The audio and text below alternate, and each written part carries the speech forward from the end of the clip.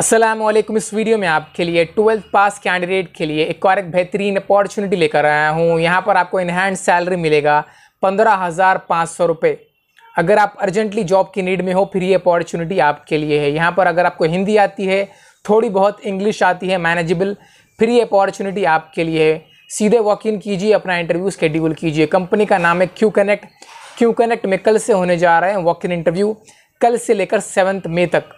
सो so, video पूरा ज़रूर देखिए एलिजिबिलिटी समझिए तभी अप्लाई कीजिए। एंड वीडियो स्टार्ट करने से पहले अगर आप मेरे चैनल पर नए हैं तो प्लीज़ सब्सक्राइब कीजिए और साइड वाले बेल आइकन को ज़रूर से प्रेस कीजिए ताकि आप कोई अपडेट मिस ना करें।